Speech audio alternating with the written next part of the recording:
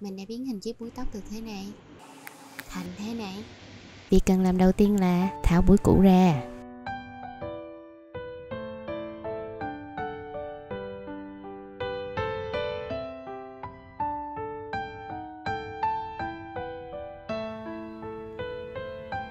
Và tiếp đến là xử lý đống kỳ lạ này.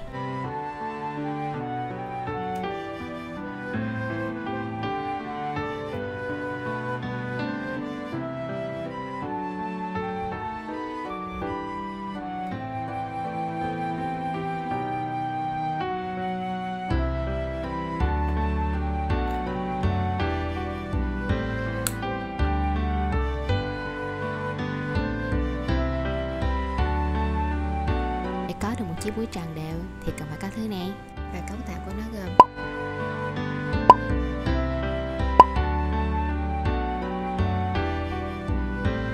để hạn chế lộ lưới và làm cho quyết nhìn thật dày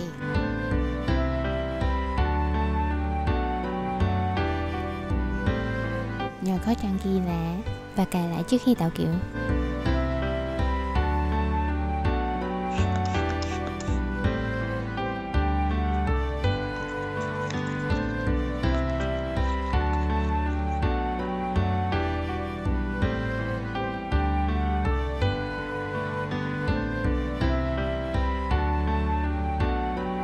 Mình dùng hỗn hợp keo sữa pha loãng để cố định bên dưới quýt.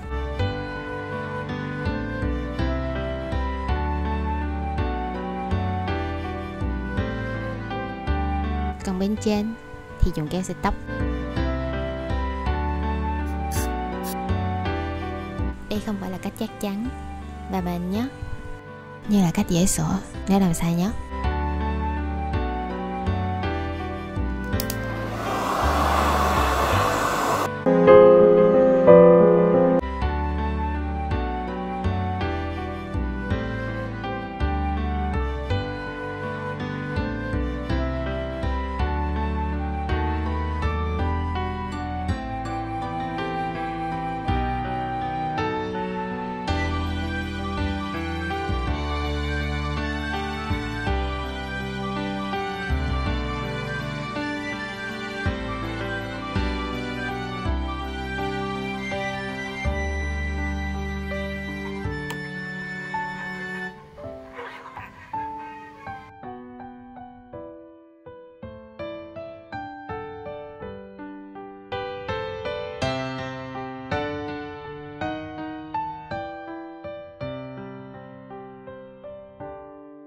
Vì sợ rớt mất búi tóc trong lúc nhai, Nên mình không dùng 500 Mà dùng kẹp để gắn búi lên quýt.